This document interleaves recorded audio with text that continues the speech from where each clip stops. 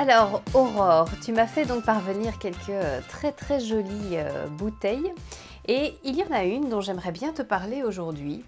Enfin, et tu vas en parler un petit peu plus que moi, très certainement euh, aussi.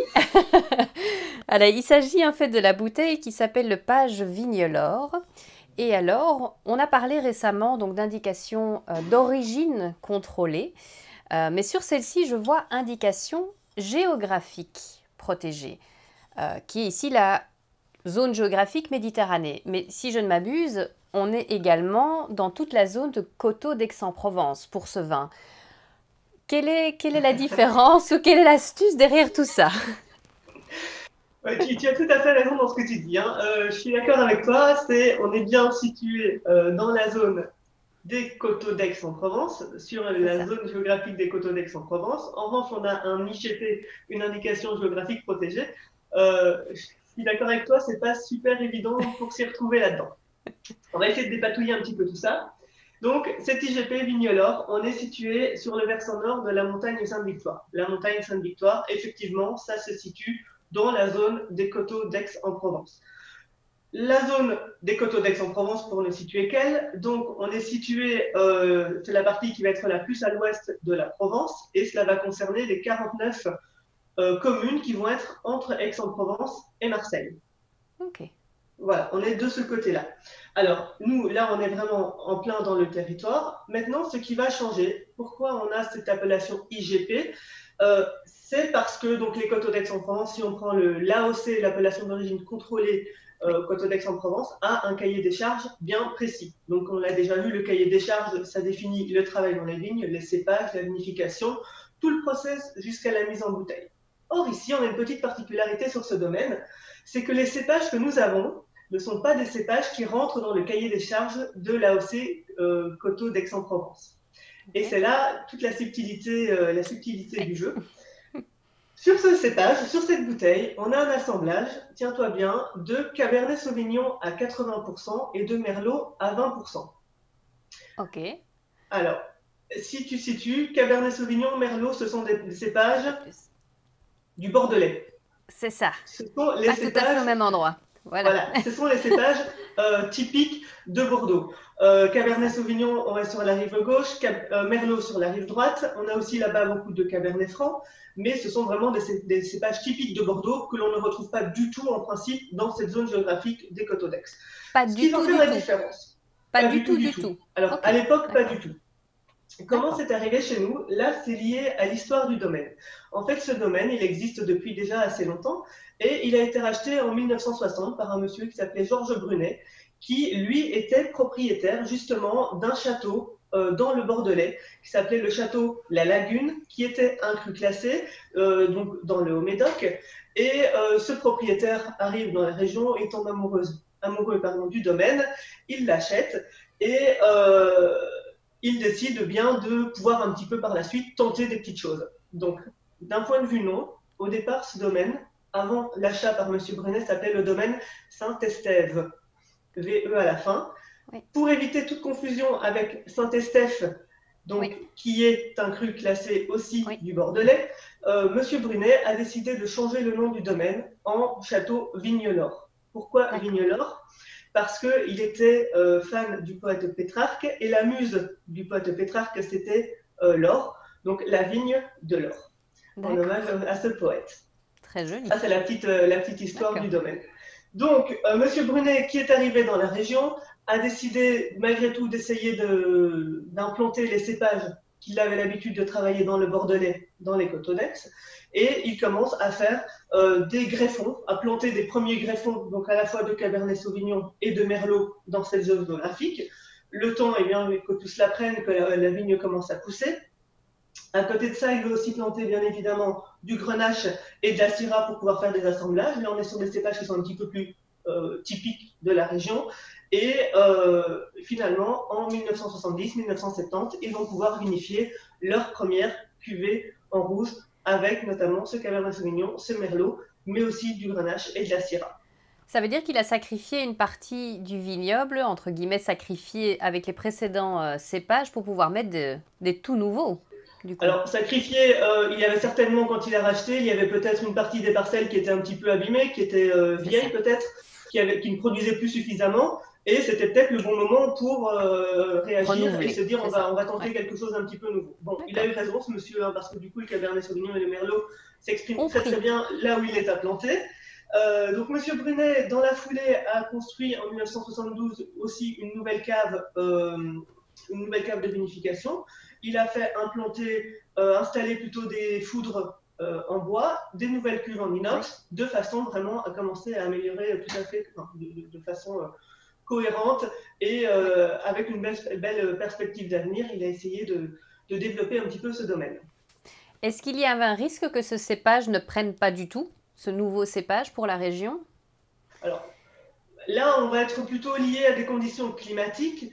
Euh, on en reparlera un petit peu plus tard, mais euh, on, reste malgré tout dans, des, dans une zone géographique avec un climat qui va être plus ou, qui va avoir des caractères plus ou moins semblables. Donc, pourquoi pas Maintenant, si on avait planté ce Cabernet Sauvignon dans la Loire ou en Alsace, là, je pense que ça n'aurait pas pris. Euh, d'où la spécificité, justement, de chaque région viticole qui a des cépages propres à son terroir, à son climat, surtout. Hein. Le climat va jouer beaucoup d'un point de vue euh, température, d'un point de vue pluie, d'un point de vue vent. Tout ça va, avoir beaucoup d'incidence sur le développement, sur la croissance d'une vigne. Euh, et chaque cépage sera plus ou moins réceptif et adapté à une zone géographique en fonction de cet élément. C'est ça. Donc le fait qu'il n'ait pas respecté quelque part le cahier des charges des coteaux d'Aix-en-Provence fait qu'il ne bénéficie pas d'une appellation d'origine contrôlée, mais uniquement d'une appellation géographique contrôlée. Oui. Du coup. Alors euh, là, ça va être la différence. Parce que du coup, son vin est bien produit dans une zone géographique bien délimitée. Il répond aussi à une certaine, un certain cahier des charges, mais on l'a vu d'un point de vue cépage, il sort du cahier des charges classique des coteaux euh, d'Aix-en-Provence. Alors, pour faire une petite parenthèse quand même sur cette appellation des coteaux, euh, coteaux d'Aix-en-Provence, on est sur une appellation qui date de 1985. Euh, elle est située, elle a une histoire qui est relativement sensible, similaire à l'histoire des vins de Provence globalement. La vigne est arrivée par les Phocéens, puis par les Romains, qui a commencé un petit peu à l'étendre sur la côte ouest en partant vers le Languedoc, en remontant un petit peu dans la vallée du Rhône, en partant du côté euh, de ces côtés d'Aix-en-Provence. Par la suite, on va avoir les monastères qui ont participé aussi au développement économique. Et en 1985 naît cette appellation des euh, coteaux d'Aix-en-Provence. Alors, ce qui va en faire ses principales caractéristiques, si on peut dire, euh, eh bien, le climat, donc on en a parlé, on a un climat méditerranéen.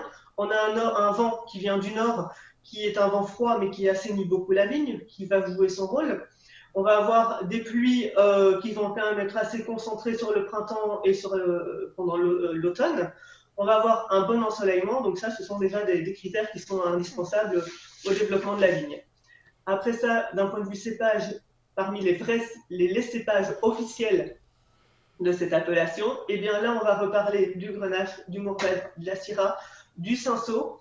Et il y en a un petit dernier qu'on n'a pas trop l'habitude d'entendre, c'est un cépage qui commence un petit peu à être oublié, ça s'appelle la counoise. La counoise, ça c'est un cépage qui va donner euh, beaucoup de finesse à notre vin, des arômes un petit peu de, de, cuir, de chocolat, d'épices, mais c'est un cépage qui n'est plus beaucoup planté aujourd'hui car difficile à travailler. Donc ça, ce sont nos cépages principaux. À côté de ça, aujourd'hui, en cépage secondaire, c'est-à-dire que l'on pourra planter, mais vraiment dans une petite quantité, une petite proportion, on va retrouver notamment notre fameux Cabernet Sauvignon et on pourra trouver aussi du Carignan qui lui va donner beaucoup plus de jus, beaucoup plus de fruité à notre vin. D'accord. Pour les blancs, juste je termine sur les cépages. Les cépages blancs, en blanc, un cépage euh, unique principal qui est toujours le Vermentino, qu'on appelle aussi le Roll, et ça c'est un cépage typique euh, de la Provence. Et à côté de cela, on pourra retrouver aussi de la clairette, du Bourgoulin, de l'Uni Blanc. On est sur des choses assez classiques. D'accord, ok. Tu parlais de Mourvèdre justement, c'est pas la première fois qu'on, que tu en, que en parles hein, du, du, Mourvèdre. On va le retrouver quasiment dans toute la région du, sud de la France, à peu de choses près, ce, oui. ce Mourvèdre. C'est, vraiment un cépage euh, clé dans la Provence. Hein, On le retrouve alors principalement sur l'appellation Bandol qui est vraiment dans la Provence, mais ça fait aussi partie des vins de Provence. Pourquoi? Parce que le Mourvèdre, toujours j'en reviens à nos conditions climatiques, le Mourvèdre c'est un cépage d'origine espagnole euh, donc qui déjà à la base eh bien, est habitué à avoir beaucoup de soleil. C'est un cépage qui a besoin d'un ensoleillement maximal, qui a besoin d'un terrain très très sec, de sol très caillouteux, très argileux. Euh, la vigne, elle a besoin d'être un peu en souffrance et d'avoir de la sécheresse, surtout sur ce type de cépage. Et justement, pour que le Mourvèdre donne le meilleur de lui-même, euh, il a besoin d'avoir ces conditions réunies. Un climat très chaud, méditerranéen, peu de pluie, des sols très secs, euh, une bonne exposition au vent aussi. C'est un cépage qui va être à maturité tardive, c'est-à-dire que c'est à peu près le dernier que l'on va vendanger euh, en période de vendange.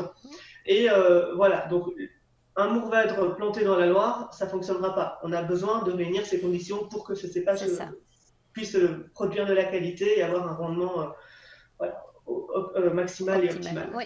D'accord. Au niveau de l'appellation Coteau d'Aix-en-Provence, on produit, tu as parlé de rouge, de blanc. Est-ce qu'on produit du rosé aussi? On produit du rosé aussi, bien sûr. Alors, euh, on produit surtout du rosé, j'ai envie de te dire, hein, d'un point de vue euh, ah. pourcentage. Le rosé va rester majoritaire. Euh, sur les rosés, on va être sur des vins qui vont être quand même assez, assez fruités, assez souples, des, petites notes de cassis, de framboise. Donc, alors oui, comme partout en Provence, on produit beaucoup de rosé. Maintenant, on produit beaucoup de rouge aussi, mais malgré tous les rouges vont être des vins qui vont être un petit peu plus structurés, des arômes peut-être un petit peu plus de, de cerise noire, de cassis. Et le blanc, euh, on en produit, mais en proportion beaucoup plus faible. Là, je pense qu'on va ah tourner à 5-10% de la production totale doit être du blanc. On va surtout miser sur le rosé et sur le rouge. Très bien. Donc ça, c'est pour l'appellation du coup d'origine contrôlée coteau d'Aix-en-Provence, dans une euh, zone géographique qui est voilà entre Aix-en-Provence et euh, Marseille et qui est donc vraiment la Méditerranée, c'est le nom de la, de la zone. Merci beaucoup pour ces informations. Aurore très complète sur cette nouvelle, euh, sur cette nouvelle appellation. Merci. Merci. Bienvenue sur la chaîne Wine O'Clock. Avec Aurore, on vous donne rendez-vous chaque semaine pour parler vin. Aurore vous dira tout, absolument tout ce que vous avez toujours voulu savoir sur le vin. Abonnez-vous pour ne manquer aucun rendez-vous Wine O'Clock et surtout, n'hésitez pas à commenter et à nous soumettre vos questions sur le vin. A très bientôt et belle découverte